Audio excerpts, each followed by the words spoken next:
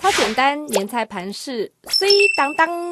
蛇年快到，搜来搜去，搜到这里就来看这些东西怎么让你年菜变碎当当哦。先煮三颗水煮蛋，剥好壳以后，先拿一颗当头部，刻出蛇嘴巴的形状。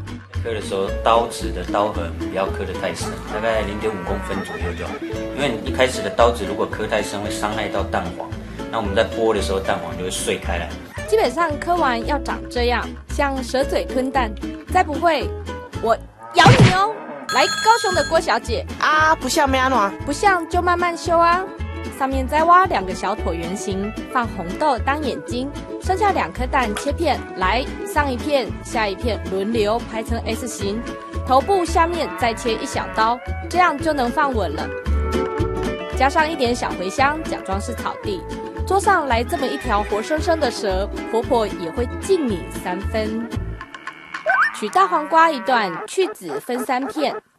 第一片先去出三条细长的皮，再一刀断，一刀不断的蝴蝶刀。跨步换个角度后，第一刀像这样不要切断，第二刀再断。剥开来就是花瓣了。做个六片排成一朵花，最后一片要压在第一片下面。再来把红萝卜切一点细末，当成花蕊。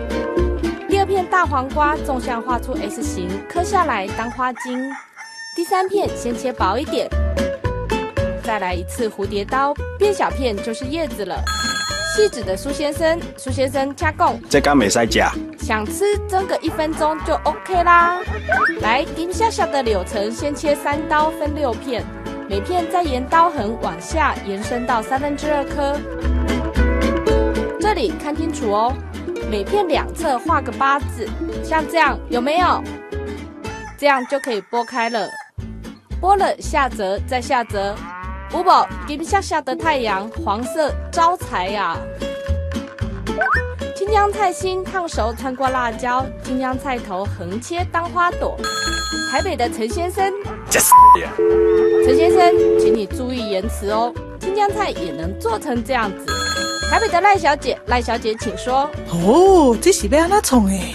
哦，这个看看就好，都教你老师靠什么吃饭呢？东新闻新北市报道。